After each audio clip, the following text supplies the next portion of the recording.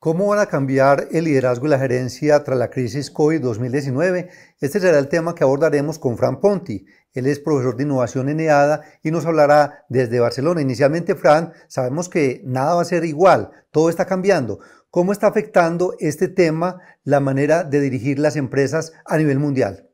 Bueno, ya vivimos en un mundo diferente, uh, lo vemos cada día. La tecnología se ha inmiscuido en nuestras vidas, a veces para bien, podremos hacer reuniones a distancia sin que decenas de personas tengan que coger vuelos y desplazarse a lados ah, remotos del planeta. Pero también hay aspectos ah, malos, ¿no? La tecnología despersonaliza, la tecnología hace que la presencialidad pues eh, ya deje de, de tener tanta importancia en nuestras vidas. Por otra parte, creo que hay un cambio de valores importante, ¿no? toda esta virtualización de las organizaciones, de las empresas, van a hacer que mm, perdamos las jerarquías y el control clásicos del siglo XX y principios del XXI y nos movamos hacia un mundo de poder distribuido, de autonomía para el individuo. En este orden de ideas, Frank, será necesario un nuevo tipo de líder y de ser positiva tu respuesta, ¿qué características debe tener ese líder? Bueno, los nuevos líderes eh, tienen que adaptarse a entornos muy complejos y a organizaciones muy complejas, donde lo importante no será ya el control, el no fiarse de la gente, etcétera, sino que va a ser el, precisamente dar autonomía, dar ese poder a la gente para que haga cosas, eh, para que use su creatividad y su criterio, ¿no? Necesitamos líderes que crean en las personas, ¿no? Más que nunca y que adopten otras funciones diferentes, que sean mucho más inspiradores, coordinadores, tanto fuera de la empresa como dentro. Necesitamos personas con mucha ilusión, con muchas ganas de hacer cosas y que transmitan eh, eso, ¿no?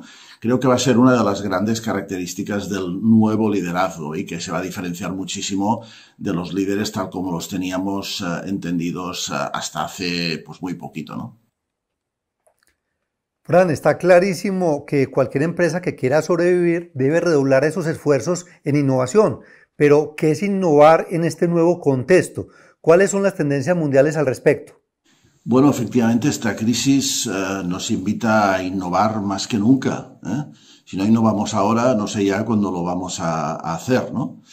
Y la innovación es sobre todo escuchar, dialogar.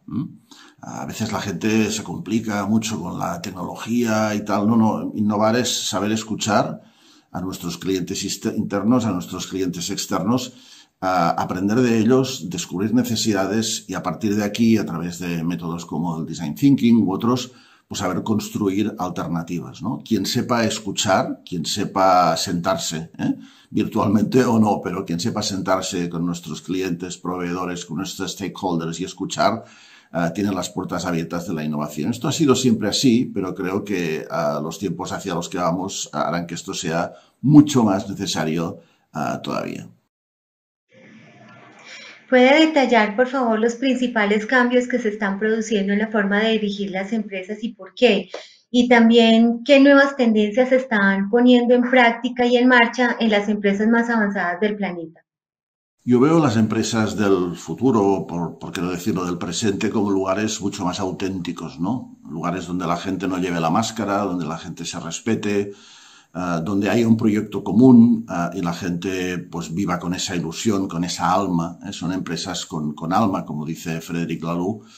También uh, empresas muy desjerarquizadas, empresas, bueno, donde la gente sabe lo que tiene que hacer, trabaja en equipo, Ah, hay un liderazgo distribuido y también un poder ah, distribuido y esto hace que las cosas funcionen de una manera completamente diferente. Las empresas además tendrán que ser lugares para experimentar, para probar cosas, para equivocarnos y reconocer que nos hemos equivocado, aprender de ese error y seguir experimentando, seguir probando cosas. Design thinking, ah, design sprint, hay muchos métodos que nos ayudan a poder hacer esto como ya una cosa absolutamente normal, ¿no?